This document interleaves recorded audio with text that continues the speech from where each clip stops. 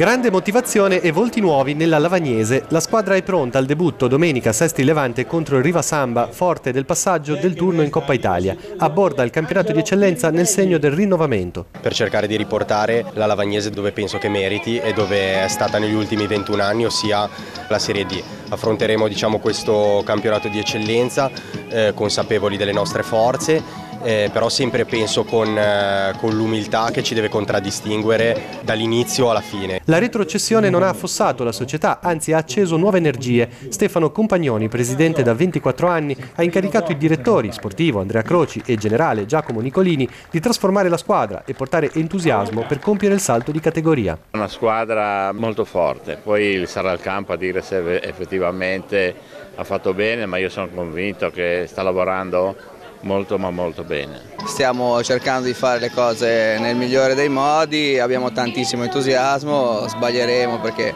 appunto, ripeto, siamo giovani ma ce la metteremo tutta per fare le cose fatte nella maniera migliore. Il format del campionato a 18 squadre piace a mister Cammaroto, che ha a disposizione il giusto mix tra giovani e giocatori d'esperienza. Un gruppo che personalmente mi dà soddisfazione allenare perché vengono sempre al campo divertendosi col sorriso, penso l'idea piaccia e quindi già quando ci sono queste basi si parte già avvantaggiati. Auguri di buon campionato anche dal sindaco Mangiante, la nostra è una delle società liguri più longeve, ha spiegato, per poi annunciare una decisione di giunta di queste ore, l'affidamento in concessione del campo di Via Ekengren alla Lavagnese per sette anni per la scuola calcio.